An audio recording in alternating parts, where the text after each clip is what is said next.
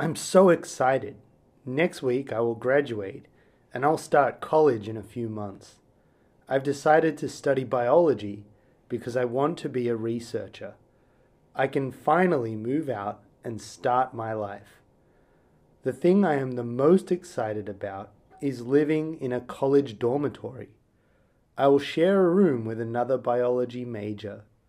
We haven't met yet, but we talked a little on the phone. He seems very friendly. I'm really happy about moving, but I don't think my mum is.